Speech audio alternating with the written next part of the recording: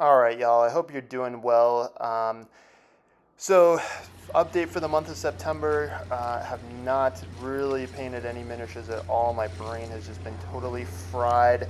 So I thought I'd do something different. I thought you take. I thought I'd take you up on a hike, hike up Mount Mansfield. So here we start in the northern hardwoods broadleaf forest of sugar maple, American beech, yellow birch are the the main species.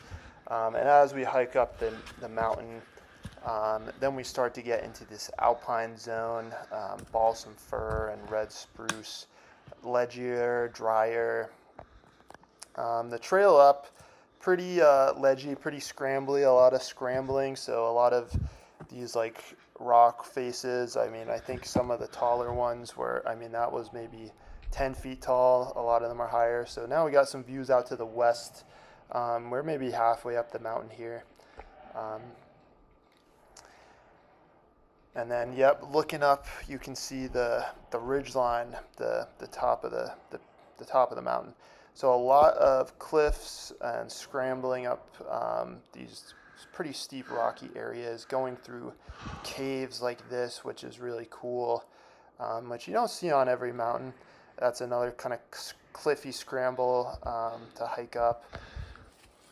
And yep, here we're starting to get onto what's called the chin of the mountain. Um, again, more of that scrambling. Uh, and here you can see, like, we still got a ways to go up. That's the ridge line across to the, the peak, but what a, a beautiful, gorgeous day. All right, here we're on the chin looking south um, to the Green Mountain Range, going south.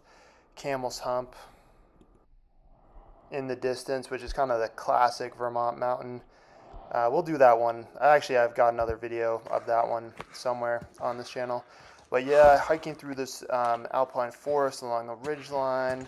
Um, here out on, on the top of the ridgeline, and you can see the peak and the difference. And we got some of these small dwarf forests to hike through. So that's about a mile and a half. Um, this is just a rocky outcropping I thought was cool. Anyways, finally at the summit, looking out to the west, which is like the wilderness side. Um, pretty awesome views. Um, and then north, right here, long trail looking north up to Canada. And then here to the east, um, and that's the Stowe Ski Resort you can see in the valley there. And then back to the south. Yeah. All right, so I thought I would just take you through the map so you can actually um, get some context for uh, what you're looking at. So here we're um, looking at Vermont uh, my home state. That opening shot in the video was of uh, Lake Champlain, uh, which I live quite close to. I live about a mile away from Lake Champlain. Um, but we were hiking up here in the kind of the heart of the state, um, the heart of the state, Mount Mansfield. So, tallest mountain. Um, I parked here at the uh, Butler Lodge Trailhead um, access down the Stevensville Road, which um, the reason why I parked there, two reasons. One, it's the closest parking. Well, actually, the real reason is it's the closest parking to me. Um, so the route I took up, which you could see, um, started out heading up the Butler Lodge Trail, which kind of um, goes follows uh, this side of the the valley up to Butler Lodge, which you could see a little bit um, in the one of the frames. Uh, this is actually this what it's showing here is the long trail, which is a trail that it's about 200 miles long that goes from Massachusetts through Vermont to Canada. So um, we hiked up the Butler Lodge Trail, headed up uh, the cliffy scramble to the ridge line right here, and then that view, that shot where we were looking south towards Camel's Hump on the chin, that is like right about here, um, where the long trail comes up the mountain. Um, so then we followed the long trail north across the ridge line. So this is so you can get a sense of scale. So from this trailhead up to here, that is somewhere over two miles, uh, two to three miles um, up here. I guess, uh, actually, yeah, it must be over three miles. I can't quite remember the way up but that's somewhere around three miles. This ridgeline um, from here, this visitor center, there is actually a car road, like people drive up to it, from this visitor center to here, it's one and a half, it's over one and a half miles up across the ridgeline. Um, so a little extra from there. Um, so that, I don't know exactly how far that is from right here to the top, to the true peak, uh, from the chin to the peak. But from the visitor center, it was like a little over one and a half miles. Uh, so I hiked up across the ridge line and then um, I just hiked back across the ridge line because I, I just like that kind of ridgy hike. Um, so I came back, uh, hiked back across here, and then the way I came down actually was down this ridge line, which is called the Maple Ridge Line. Um, this way up was like, you can see it goes up the mountain in a pretty short distance. It is like a real cliffy scramble and it's one thing going up those kind of cliffs but you just they're not really fun to like go down um, so i wanted a little more gradual descent so i went down this ridge um, and i remember actually very distinctly because um, i was out of water and i was like really suffering at this point um, i didn't bring enough water i drank all my water at the chin and I was like, ah, it's only like basically an extra, you know, just, I mean, it's not super uphill walking across the ridge. So I was like, yeah, it won't, it won't be so bad. Um, walking across that dry ridge on a hot day and walking back, like I was extremely dehydrated um, by the time I got here. And so I was very eager to like get back below tree line um, after being like baked in the sun. So this ridge walk back down was like honestly um, torturous. It was torturous, but this was 0.9 miles because um, I was like really, um, I was really like paying attention to that, and it said it on the sign. But man, this just felt never ending. This point nine, point um, nine mile stretch because it's like totally exposed, um, totally exposed in the sun. You're scrambling up and down these ledges. Like there's some cliffs here that you know you can scramble up them like no problem, but they're like 20 feet tall. Um, even going down, like you have to go back up um, some of these cliffs.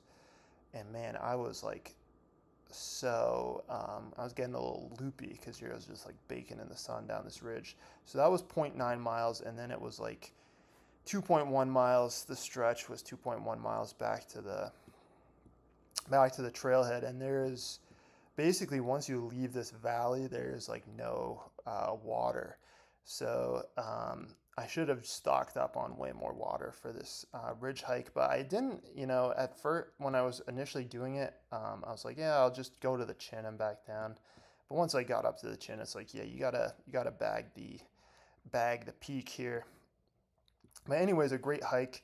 Um, going to be doing a lot of hiking over the winter, um, mainly because um, I want to bag the 48 high peaks of the White Mountains in New Hampshire. So, I mean, if you go over on the map, um, so the part, I mean, I live on this in Chittenden County in this area now, but where I grew up was um, down here on the New Hampshire border.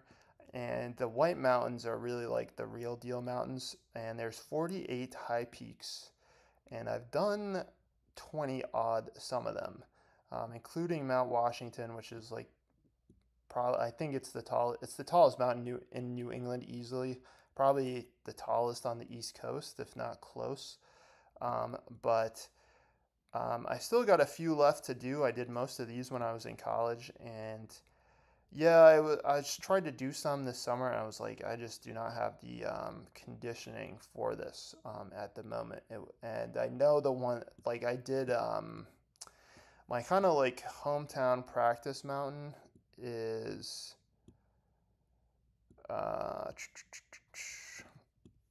okay, there's Lyme, Orford. It's this one. Um, you can see this area um, anyways, this is Mount Cube, which um, it, that one's kind of easy. But then over here, no, I don't know. Sorry, it's hard to tell sometimes from the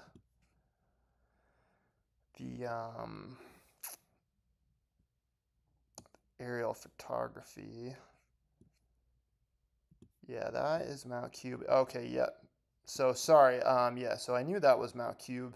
And then Smarts Mountain is my kind of hometown mountain. So here we go. Yep.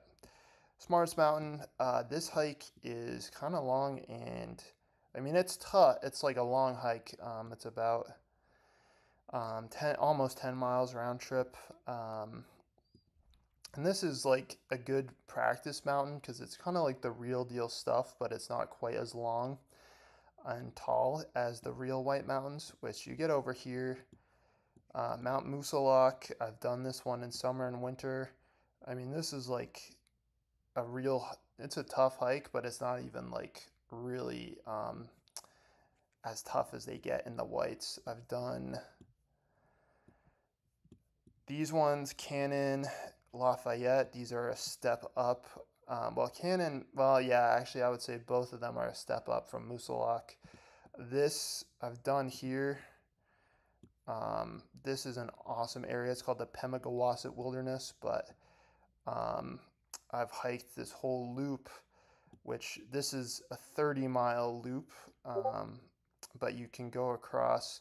This is the Pemigewasset River, and this is a whole area is uh, in between these roads is like a designated wilderness area. So there's like no development in here. This is like a massive wilderness area. But what I have done is hiked down, uh, followed the mountain, um, followed the uh, Pemigewasset River, and then you can hike up to Bond and then the Bond Cliff. Um, yep, there's the Bond Cliff. This is like it. So from um, the uh, parking area, which I think you park here at the Hancock parking area. Yeah, Lincoln Woods Trailhead. Following this up to the Bond Cliff, that is 10 miles um, up to the Bond Cliff. And then over 10 miles easily, actually. I think it might be like 14, 14 plus or something. But once you're on the Bond Cliff, then you can hike um, across this whole ridge line which is a brute. Honestly, this is a brutal ridge line because once you're on the ridge, it is up and down, up and down, and um, hike across this kind of loop, and then to Mount Garfield, and then Mount Lafayette, Mount Liberty, Mount Flume, and then um, back. Uh, you go back through this, back down through the tent site to the um, parking area so that was like an incredible hike. This area is absolutely awesome. But the ones I saw, I got to do um, the high peaks. Hmm, I'm not sure if we. I'll have to check if we hit the twins. We must have hit the twins. Oh, Bretton Woods.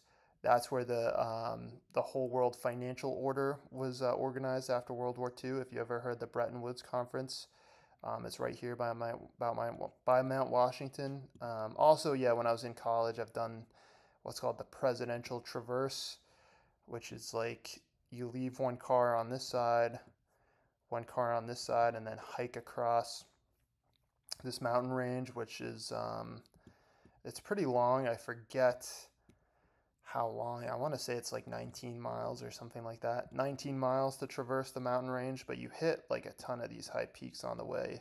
Yeah, I think you start up. The way we did is you start up Eisenhower.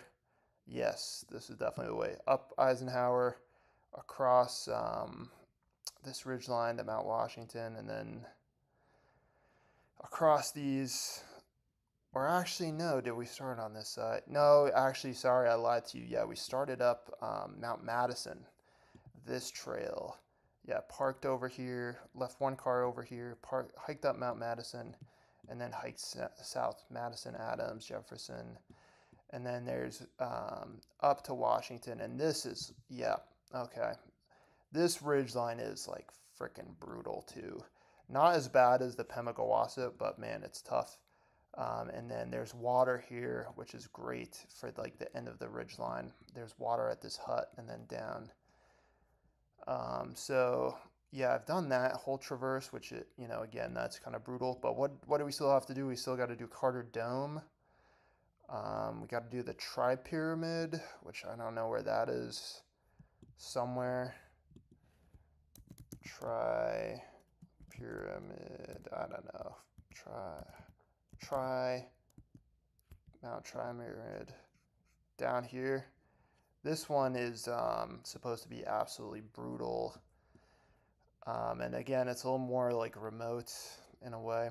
So anyways, I know this has been like a big ramble, but um, I want to do, a, I really want to knock off the as many as I can this summer, which is going to require conditioning. And you could probably hear in that other video, like the conditioning needs some work. I mean, it could be a lot worse, but uh, I just feel like I've been lacking the endurance um, and the get up and go. So um, hopefully, you know, by doing a ton of hiking over the wintertime, we'll uh, we'll be there. We'll be in shape for next summer. Um, I, I was doing a lot of running, but I don't know. It's just like a little too much on the joints. So, um, anyways, we're um, that we've been rambling for long enough. Um, we're gonna call it there. Uh, I'll see you in the next one. I mean, it's probably gonna be a while, but hopefully, I'll have a shit ton of hoplites or something done to show you.